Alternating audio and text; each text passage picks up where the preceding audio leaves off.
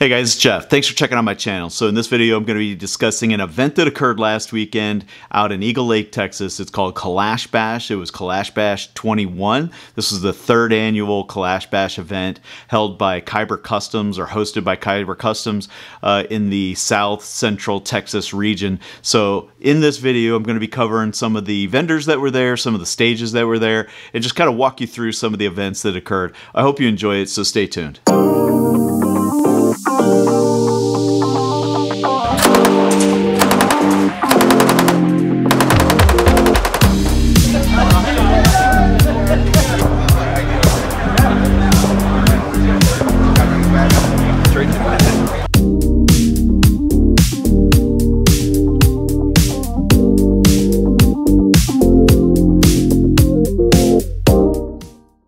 So there were a lot of vendors out there this weekend, and they brought out a lot of their wares. They were de- demonstrating a lot of the products that they have. Some of the most notable were Kalashnikov USA, IWI, JMac Customs. Uh, there were other people there like K&S Precision uh, Primary Arms, um, and just a host of other vendors. And, and I'll demonstrate those throughout this video, and you'll get to see their tables and some of the products that they were uh, demonstrating out at the event. But the event is held every year. It's a competition. This year it was five stages, uh, competition throughout an entire weekend, starting on Friday and ending on Sunday the highlight of the weekend uh, for some, for the general admission, would be some of the shooting events, some of the demonstrations, fully automatic demonstrations, and that sort of thing. And for the competitors, it's going to be the the competition stages. So for me this year, my goal was to get into the top 25%. I came close in my uh, division. I came in the top 30%. So that was a pretty good. Uh, uh, improvement over previous years. I'm not a competitor, and you'll see in the video here that I'm not a competitor, but I do enjoy doing this. It does give me a reason to get out and run and gun a little bit. So I hope you enjoy this video. Uh, I'm going to demonstrate all five stages. You're going to see how each one of them uh, is laid out. For the guy who said hi to me, I want to thank you. Uh, it really made my weekend to uh, to get to meet you. And uh, if you ever see me again or you want to throw a comment in the comment section and say hello, uh, I would like to send you something. So anyway, with that, I hope you enjoy this video, guys. Oh, and before I go, this is what I competed with. This is a first gen Galil Ace in 762 by 39. I competed in the, the open heavy division, and that means you can run optics, you can run extended magazines, you can run pretty much whatever you want as long as it's a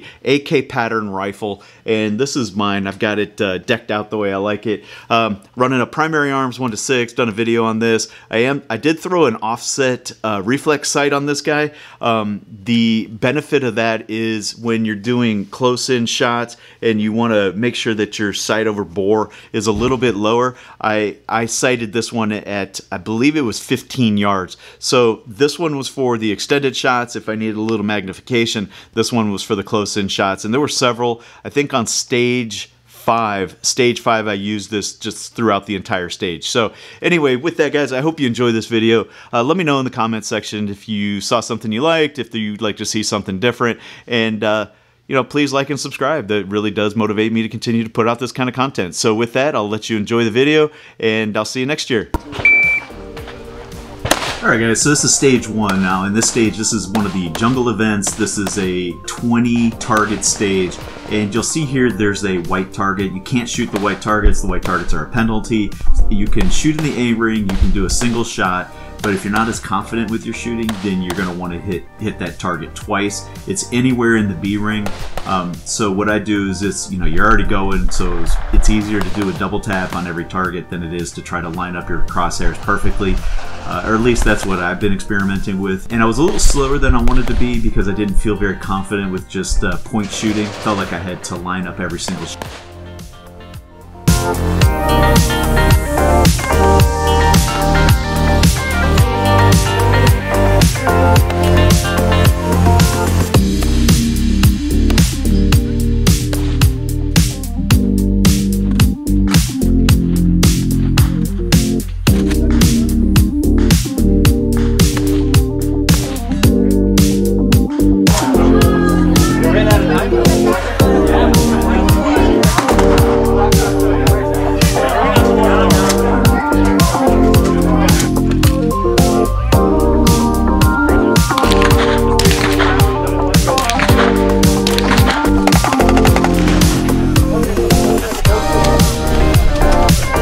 So this is Adam Liedtke's competition rifle. You'll notice he's using an offset. So I kind of mimicked what he was doing with his. He's got an ALG trigger in his Gen 2 Galil Very nice shooting gun.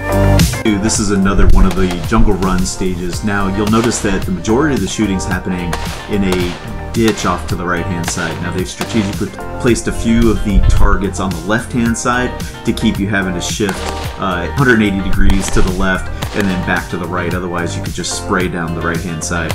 Now, they do have some no shoot targets down there, so you do have to line up your shots. Uh, and it's a little bit further away, but you can note you notice that you are shooting down. Now, they did a good job with this one with uh, putting in cover. So you had to remember that you know there were targets behind certain portions of this stage. Again another very well laid out stage uh, with some plates at the end uh, at a long distance for precision shooting. Another good stage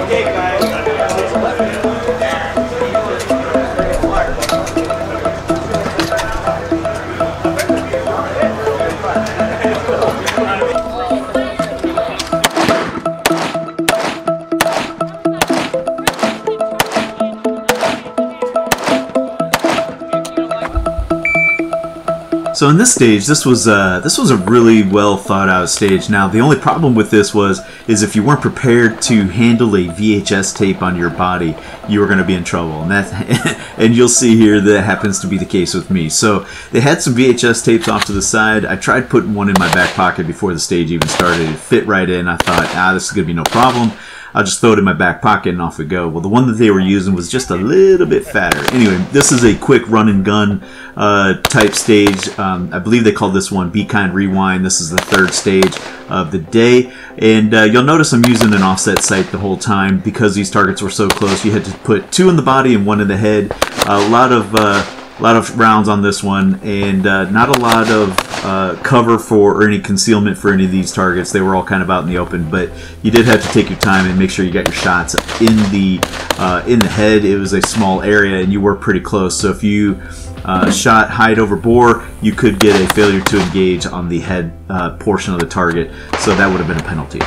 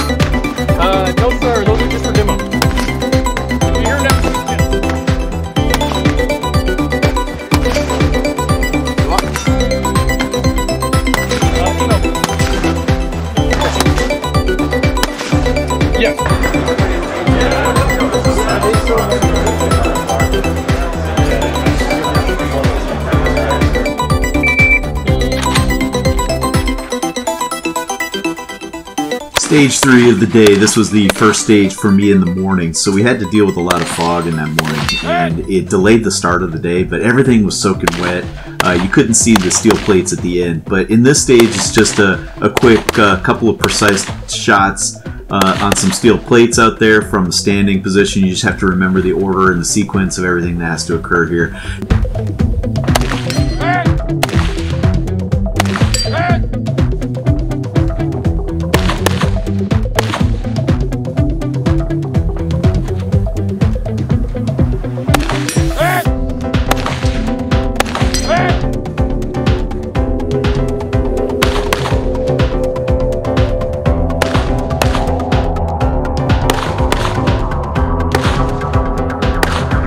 You'll notice at the very end, uh, I'm really struggling trying to figure out how to get these sights lined up through that little slot. I tried one way, it didn't work. I tried another way, uh, couldn't get really behind it. This was a big mistake on my part. This really killed my time, but it was a fun stage. It just uh, kind of frustrated me with the setup that I was running.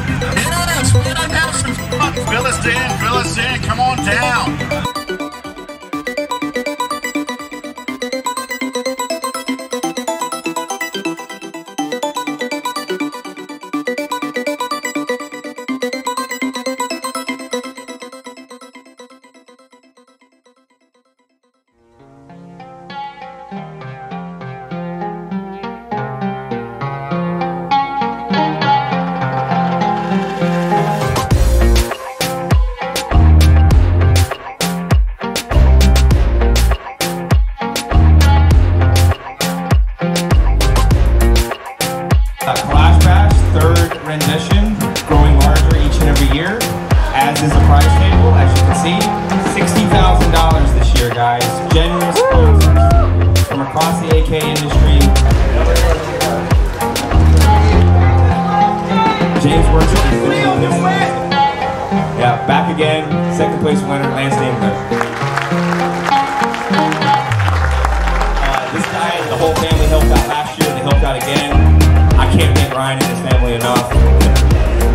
Always occupying the podium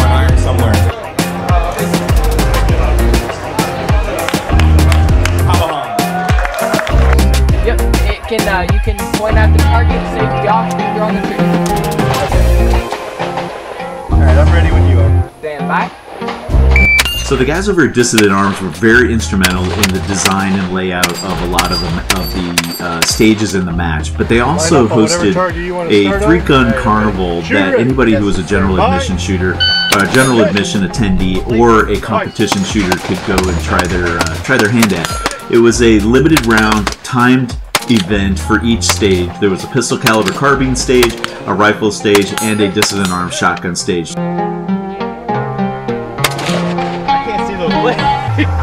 The problem. I did not know those plates were there. By. you know, anytime you do precision time shooting, it's a good time.